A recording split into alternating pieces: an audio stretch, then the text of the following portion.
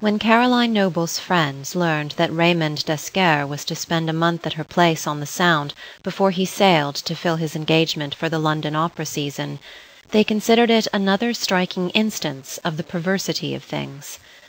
That the month was May, and the most mild and florescent of all the blue and white Mays the Middle Coast had known in years, but added to their sense of wrong. D'Esquerre, they learned, was ensconced in the lodge in the apple orchard, just beyond Caroline's glorious garden, and report went that at almost any hour the sound of the tenor's voice, and of Caroline's crashing accompaniment, could be heard floating through the open windows, out among the snowy apple boughs. The Sound, steel blue and dotted with white sails, was splendidly seen from the windows of the lodge. The garden to the left and the orchard to the right had never been so riotous with spring, and had burst into impassioned bloom, as if to accommodate Caroline, though she was certainly the last woman to whom the witchery of Freya could be attributed the last woman, as her friends affirmed, to at all adequately appreciate and make the most of such a setting for the great tenor. Of course, they admitted, Caroline was musical well, she ought to be. But in that, as in everything, she was paramountly cool headed, slow of impulse, and disgustingly practical. In that, as in everything else, she had herself so provokingly well in hand. Of course it would be she, always mistress of herself in any situation, she who would never be lifted one inch from the ground by it, and who would go on superintending her gardeners and workmen as usual it would be she who got him. Perhaps some of them suspected that this was exactly why she did get him, and it but nettled them the more. Caroline's coolness, her capableness, her general success, especially exasperated people because they felt that, for the most part, she had made herself what she was, that she had cold-bloodedly set about complying with the demands of life and making her position comfortable and masterful. That was why, everyone said, she had married Howard Noble. Women who did not get through life so well as Caroline, who could not make such good terms either with fortune or their husbands, who did not find their health so unfailingly good, or hold their looks so well, or manage their children so easily, or give such distinction to all they did, were fond of stamping Caroline as a materialist, and called her hard.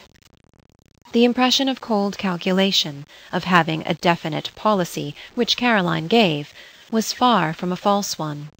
But there was this to be said for her that there were extenuating circumstances which her friends could not know.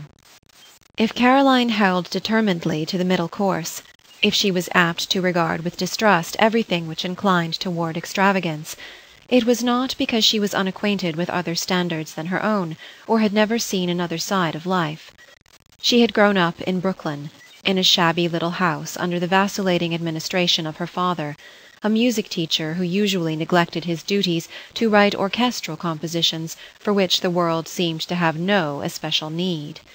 His spirit was warped by bitter vindictiveness and puerile self-commiseration and he spent his days in scorn of the labor that brought him bread, and in pitiful devotion to the labor that brought him only disappointment, writing interminable scores which demanded of the orchestra everything under heaven except melody. It was not a cheerful home for a girl to grow up in. The mother, who idolized her husband as the music lord of the future, was left to a lifelong battle with broom and dustpan to never-ending conciliatory overtures to the butcher and grocer, to the making of her own gowns and of Caroline's, and to the delicate task of mollifying Auguste's neglected pupils. The son, Heinrich, a painter, Caroline's only brother, had inherited all his father's vindictive sensitiveness without his capacity for slavish application. His little studio on the third floor had been much frequented by young men as unsuccessful as himself who met there to give themselves over to contemptuous derision of this or that artist whose industry and stupidity had won him recognition. Heinrich, when he worked at all, did newspaper sketches at twenty-five dollars a week. He was too indolent and vacillating to set himself seriously to his art, too irascible and poignantly self-conscious to make a living, too much addicted to lying late in bed, to the incontinent reading of poetry, and to the use of chloral to be anything very positive except painful. At twenty six he shot himself in a frenzy, and the whole wretched affair had effectually shattered his mother's health and brought on the decline of which she died. Caroline had been fond of him, but she felt a certain relief when he no longer wandered about the little house, commenting ironically upon its shabbiness, a Turkish cap on his head, and a cigarette hanging from between his long, tremulous fingers. After her mother's death, Caroline assumed the management of that bankrupt establishment.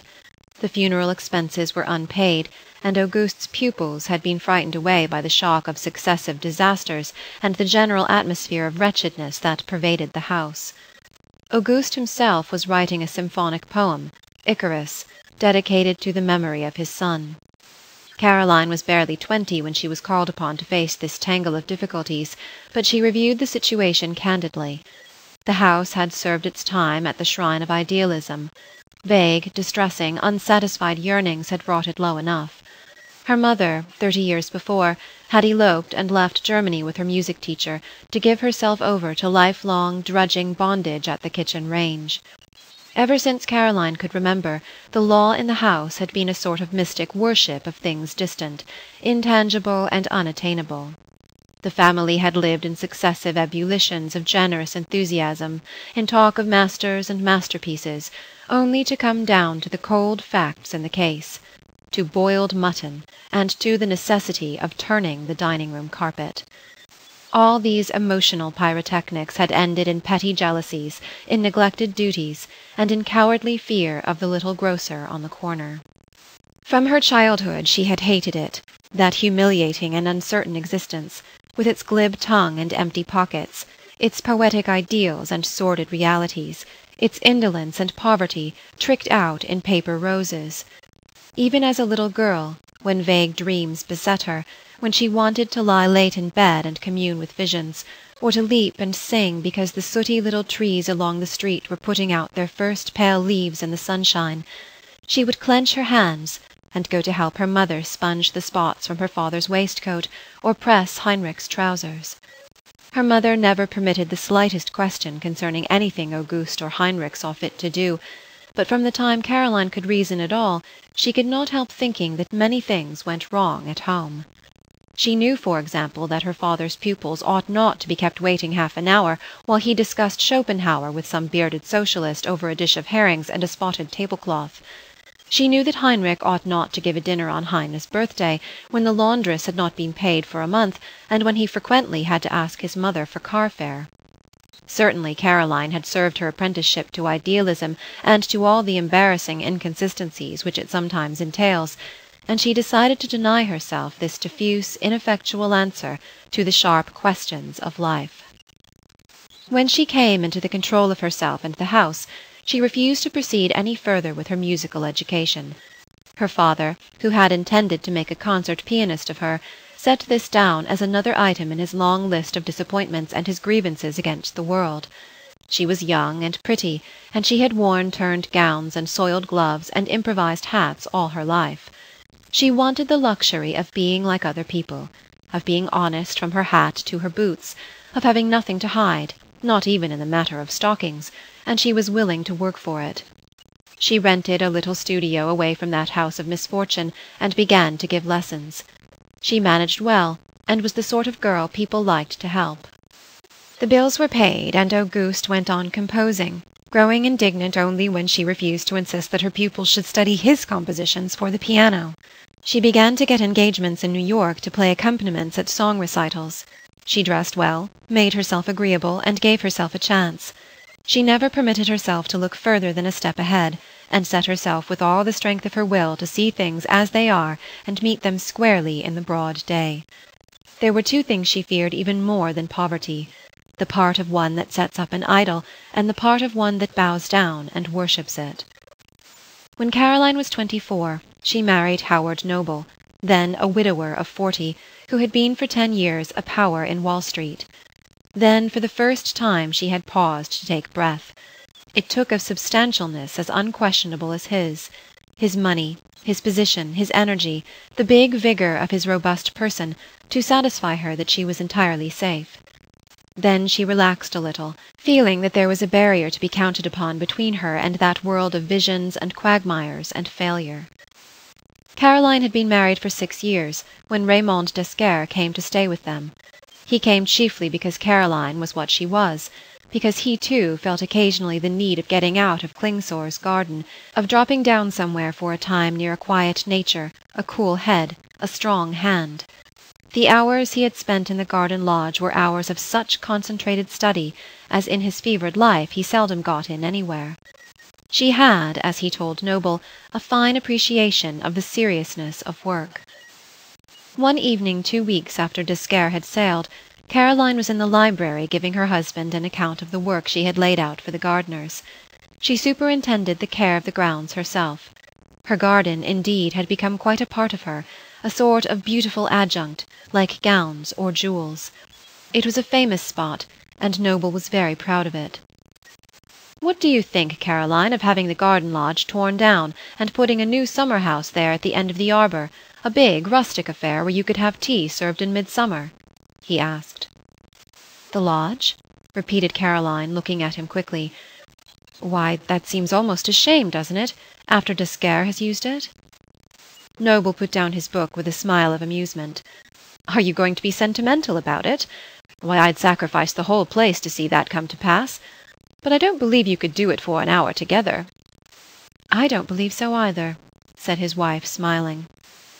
Noble took up his book again, and Caroline went into the music room to practice. She was not ready to have the lodge torn down. She had gone there for a quiet hour every day during the two weeks since d'Esquerre had left them. It was the sheerest sentiment she had ever permitted herself. She was ashamed of it, but she was childishly unwilling to let it go. Caroline went to bed soon after her husband, but she was not able to sleep. The night was close and warm, presaging storm. The wind had fallen, and the water slept, fixed and motionless as the sand. She rose and thrust her feet into slippers, and putting a dressing gown over her shoulders, opened the door of her husband's room. He was sleeping soundly.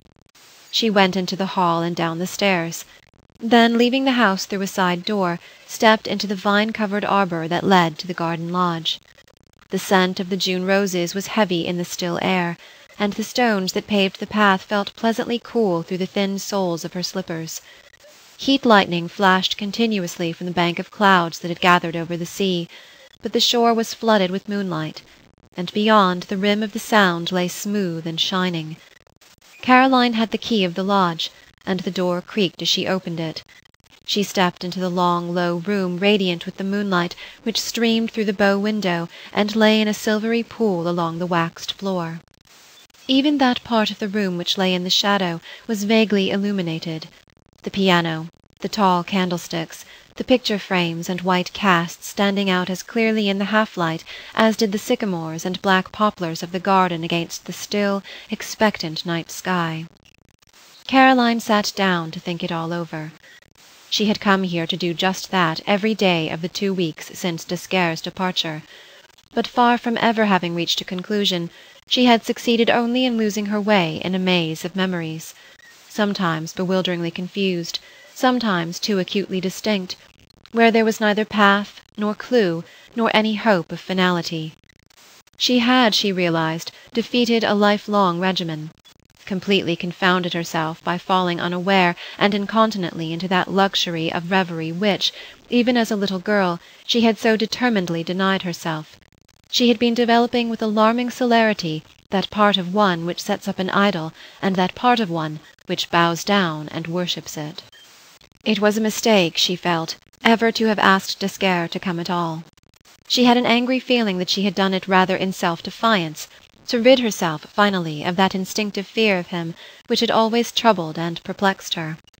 She knew that she had reckoned with herself before he came, but she'd been equal to so much that she had never really doubted she would be equal to this. She had come to believe, indeed, almost arrogantly in her own malleability and endurance. She had done so much with herself that she had come to think that there was nothing which she could not do. Like swimmers, overbold, who reckon upon their strength and their power to hoard it, forgetting the ever-changing moods of their adversary, the sea. And D'Esquerre was a man to reckon with. Caroline did not deceive herself now upon that score. She admitted it humbly enough, and since she had said good bye to him, she had not been free for a moment from the sense of his formidable power. It formed the undercurrent of her consciousness. Whatever she might be doing or thinking, it went on, involuntarily, like her breathing, sometimes welling up until suddenly she found herself suffocating. There was a moment of this tonight, and Caroline rose and stood shuddering, looking about her in the blue duskiness of the silent room. She had not been here at night before, and the spirit of the place seemed more troubled and insistent than ever it had in the quiet of the afternoons. Caroline brushed her hair back from her damp forehead and went over to the bow window. After raising it she sat down upon the low seat. Leaning her head against the sill, and loosening her nightgown at the throat, she half closed her eyes and looked off into the troubled night, watching the play of the heat lightning upon the massing clouds between the pointed tops of the poplars. Yes, she knew, she knew well enough of what absurdities this spell was woven. She mocked even while she winced. His power, she knew, lay not so much in anything that he actually had, though he had so much, or in anything that he actually was, but in what he suggested, in what he seemed picturesque enough to have or be, and that was just anything that one chose to believe or to desire. His appeal was all the more persuasive and alluring in that it was to the imagination alone, in that it was as indefinite and impersonal as those cults of idealism which so have their way with women. What he had was that, in his mere personality, he quickened and in a measure gratified that something without which, to women, life is no better than sawdust, and to the desire for which most of their mistakes and tragedies and astonishingly poor bargains are due. D'Esquerre had become the centre of a movement, and the Metropolitan had become the temple of a cult. When he could be induced to cross the Atlantic, the opera season in New York was successful. When he could not, the management lost money. So much every one knew. It was understood, too, that his superb art had disproportionately little to do with his peculiar position. Women swayed the balance this way or that. The opera, the orchestra, even his own glorious art, achieved at such a cost, were but the accessories of himself. Like the scenery and costumes and even the soprano, they all went to produce atmosphere, were the mere mechanics of the beautiful illusion. Caroline understood all this. Tonight was not the first time that she had put it to herself so. She had seen the same feeling in other people, watched for it in her friends, studied it in the house night after night when he sang, candidly putting herself among a thousand others. D'Esquerre's arrival in the early winter was the signal for a feminine hegira toward New York. On the nights when he sang, women flocked to the Metropolitan from mansions and hotels, from typewriter desks, schoolrooms, shops, and fitting rooms. They were of all conditions and complexions. Women of the world who accepted him knowingly as they sometimes took champagne for its agreeable effect, sisters of charity and overworked shop-girls who received him devoutly, withered women who had taken doctorate degrees and who worshipped furtively through prism spectacles, business women and women of affairs, the Amazons who dwelt afar from men in the stony fastness of apartment houses. They all entered into the same romance, dreamed, in terms as various as the hues of fantasy, the same dream, drew the same quick breath when he stepped upon the stage, and at his exit felt the same dull pain of shouldering the pack again. There were the maimed even, those who came on crutches, who were pitted by smallpox or grotesquely painted by cruel birth stains. These, too, entered with him into enchantment. Stout matrons became slender girls again, Worn spinsters felt their cheeks flush with the tenderness of their lost youth. Young and old, however hideous, however fair, they yielded up their heat, whether quick or latent, sat hungering for the mystic bread wherewith he fed them at this Eucharist of sentiment. Sometimes, when the house was crowded from the orchestra to the last row of the gallery, when the air was charged with this ecstasy of fancy, he himself was the victim of the burning reflection of his power.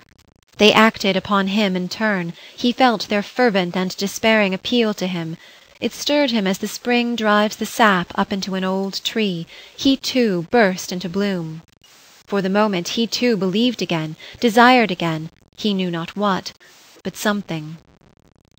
But it was not in these exalted moments that Caroline had learned to fear him most. It was in the quiet, tired reserve, the dullness even that kept him company between these outbursts that she found that exhausting drain upon her sympathies which was the very pith and substance of their alliance. It was the tacit admission of disappointment under all this glamour of success, the helplessness of the enchanter to at all enchant himself, that awoke in her an illogical, womanish desire in some way compensate, to make it up to him.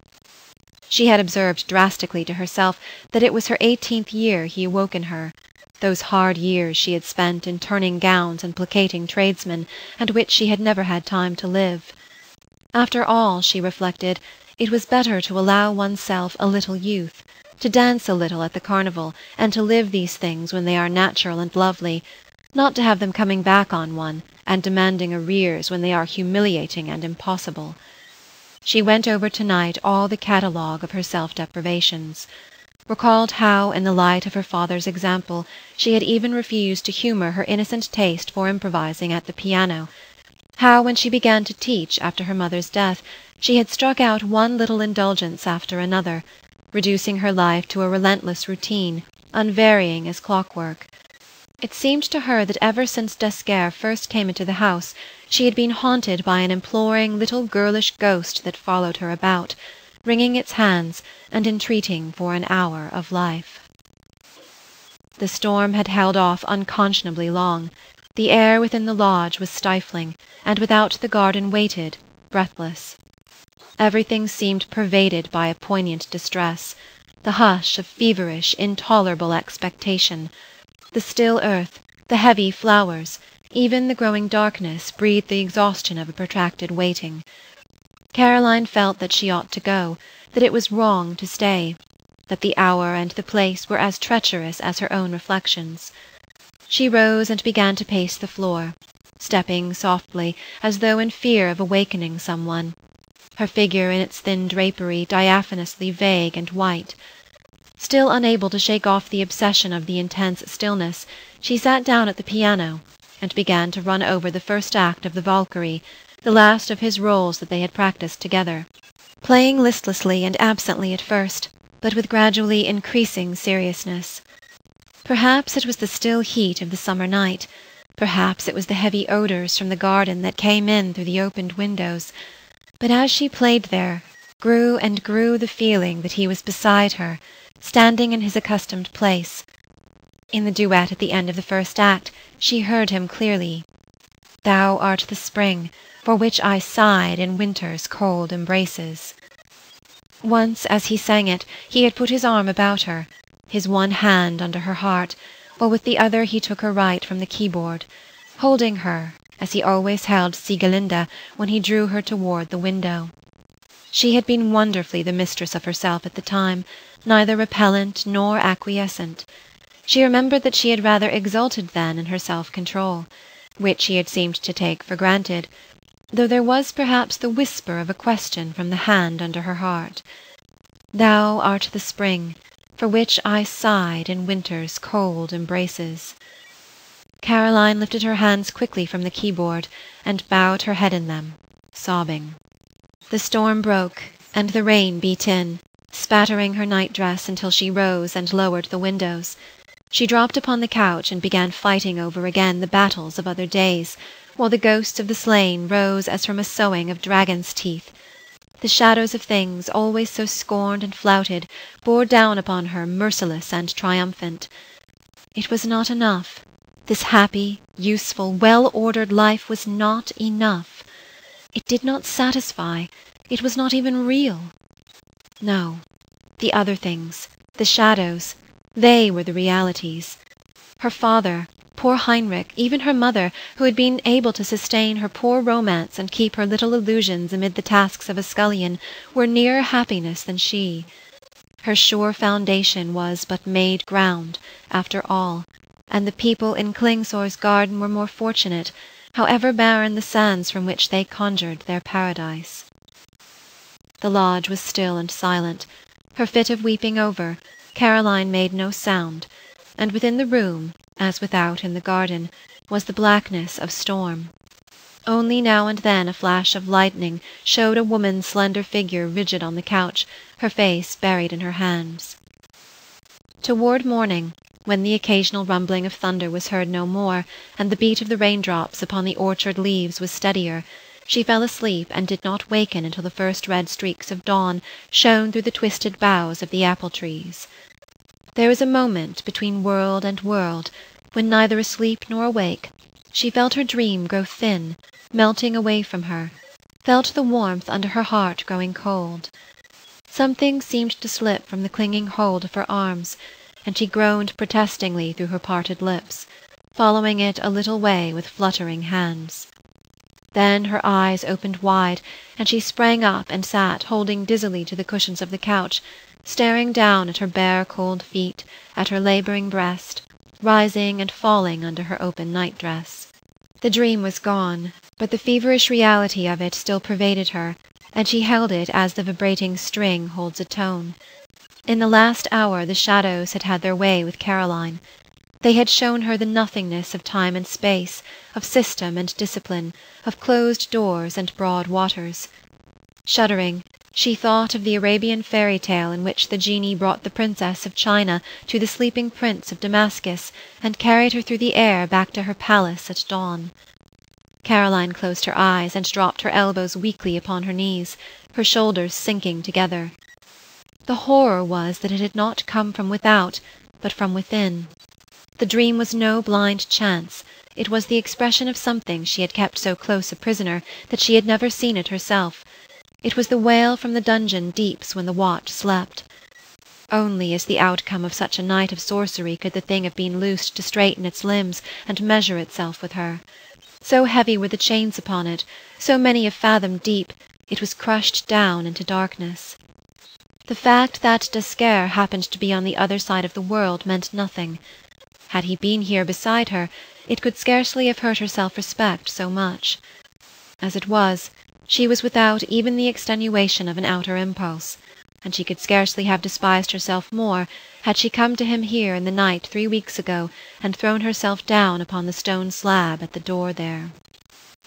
Caroline rose unsteadily and crept guiltily from the lodge and along the path under the arbour, terrified lest the servant should be stirring, trembling with the chill air, while the wet shrubbery, brushing against her, drenched her night-dress until it clung about her limbs. At breakfast her husband looked across the table at her with concern. "Seems to me that you are looking rather fagged, Caroline. It was a beastly night to sleep. Why don't you go up to the mountains until this hot weather is over? By the way, were you in earnest about letting the lodge stand?" Caroline laughed quietly. "No, I find I was not very serious. I haven't sentiment enough to forego a summer house. Will you tell Baker to come tomorrow to talk it over with me? If we are to have a house party, I should like to put him to work on it at once." Noble gave her a glance, half humorous, half vexed. "Do you know I am rather disappointed," he said. "I had almost hoped that just for once, you know you would be a little bit foolish." "Not now that I've slept over it," replied Caroline, and they both rose from the table, laughing. End of The Garden Lodge by Willa Cather